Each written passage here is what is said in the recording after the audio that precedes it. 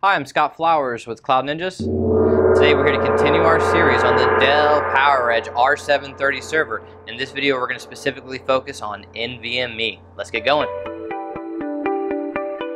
Well, hey, thanks for stopping by today to learn a little bit more about the Dell PowerEdge R730 server. Do us a favor, if you find anything in this video useful, click that like and smash that subscribe. All right, so this video is going to be specifically focused on NVMe. We're going to cover the three different potential options that the R730 has and the different ways that you might be able to actually see them. And then at the end, we're going to show you how to enable slot bifurcation for the M.2 option, okay? So the, the types of options that you can use, there's U.2, uh, which is uh, basically a fancy way of saying a, a uh, 2.5 inch drive that you can actually physically install into the backplane. Uh, we're going to go over uh, the PCIe slot version where you you know, physically install it into your PCIe. And then we're going to go over the M.2 option that you will need either a Dell Boss card or a Super Micro card. Which one? We'll let you know. Um, so let's start first. Let's go with the U.2s. Um, so with the U.2s, uh, unfortunately, the R730 does not have a solution. Um, if you watched our 630 video uh, on the NVMe, uh, specifically with the 10 bay, you can install a kit and this is actually the kit. I put it here even though the 730 doesn't have one, um, but it's, uh, you know, you have a card, you have a cable, you install it, and then the last four slots for the uh, R630, um, it allows you to install the U.2. But I will note with the R630, it does have to be Dell firmware. You can't put in uh, just any regular old Intel or Samsung. Uh, it has to be Dell firmware, okay? But with the R730, U.2s are out. You can't use them, uh, which was unfortunate because I love that as a solution for the R630s personally, but you can't use them, okay? Next option, PCIe. Well, same situation. If you install just a regular old Intel or Samsung, it will not work. You need a Dell uh, NVMe PCIe. So the Intels and the Samsungs that don't have Dell firmware just won't recognize it all. They're out, okay? But the ones that, that do have a Dell firmware, they will um, actually work, but it's super limited, unfortunately. If you um, if you try to go into the iDRAC setting to look at it, it will uh, show up, but not as a physical disk. So you can't install an OS onto it. You can't use it in RAID configuration. There's basically nothing you can actually do with it um, in the iDRAC side. Um, if you were to install VMware and try to uh, put an OS on it, same thing, won't work. So really all you can do is if you go into uh, the BIOS and the device configurator, um, you can um, use it basically as extra storage, uh, which is still nice, um, but unfortunately the PCIe version is just very, very limited and there's not a whole lot you can do with it, okay? So to me that's kind of out. Um, so really the winner here for the R730 are the M.2s. Um, the M.2s are the, uh, the one solution that um, has some actual possibilities where you can put an OS onto it and do some extra things. But there's some keys here, okay? You can't use uh, the 14th gen Dell Boss card. Um, you would think that it would be uh, backwards compatible and you'd be able to install it into the 13th gen and it'll work just fine.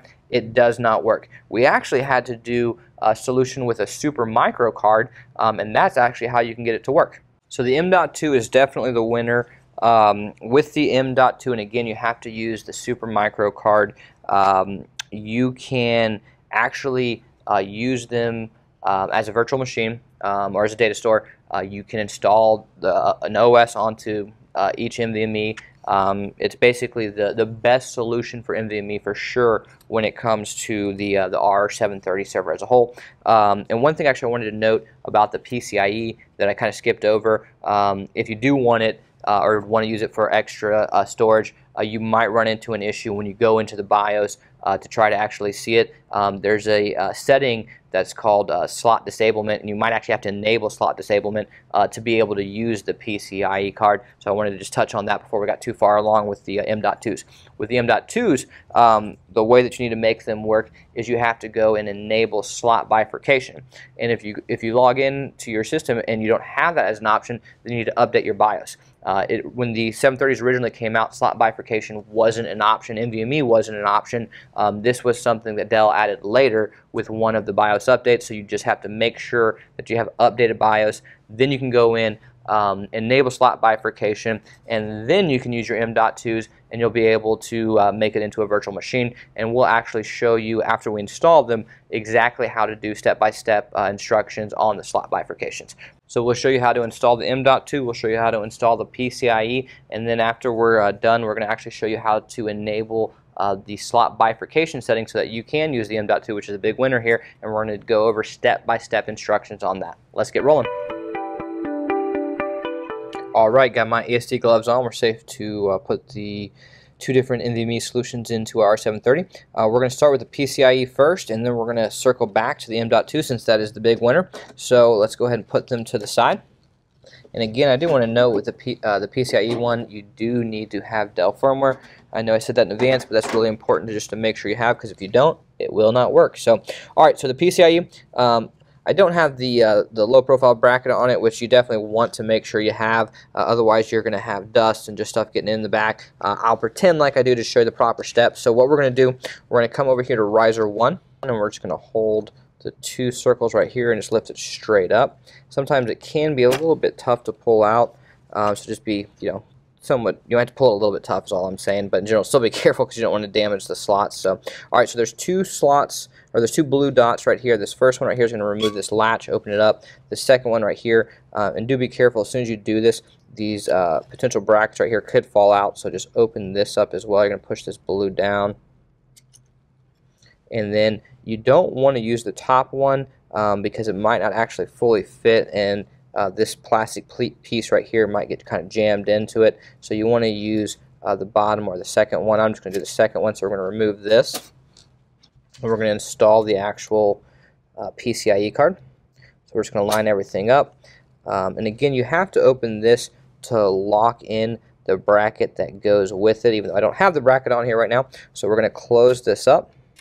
And you'll see it's locked into place. And then when we close this, it locks it on the back end. So now your card is physically installed. And I'm going to show you this. This is why you need to make sure that you have the bracket on it too because look at how much dust and junk would get in there if you don't have it. So just make sure you have the, the right bracket. And then we're going to come back in and we're going to install the riser 1 back into the motherboard. So just slide it back down. Make sure it's all flush and push it in. You can hear it and feel it when you're doing it kind of click back into place. And really, it was just that easy. Now we've got our PCIe uh, NVMe installed. Uh, again, it's not the best solution in the sense of all you can really do is use it for kind of extra storage. Uh, I am a big fan of the M.2s that we're about to show you. So I'm going to pop this out, fast forward, and show you how to install this one. Alright, so in order to do this, we're going to need to remove riser 1. So you'll notice the two slots for your fingers right here. You're just going to pull this bad boy up. And I will note when you get in here, uh, we currently have the uh, the bracket here that we're going to need to remove. In order to do that, this uh, blue circle right here, when you push this down, this will open up the uh, uh, the black latch right here. Okay, and then you can simply just take out your low profile, and now we're going to install the new one. So uh, a couple things going on here. You need to make sure you line up uh, the low profile with the insertion here. You need to make sure that your leads are all lined up. So a couple things going on that you need to just be uh, be aware of as you're installing it. Um, it's honestly a very very simple process overall, but you just need to make sure you line everything up like so and make sure you fully insert it. So you see it's fully inserted back here. And then we're just going to close our black latch to keep it locked in place and then we're going to put riser 1 back in. So really you see it was a, overall a, a pretty simple upgrade.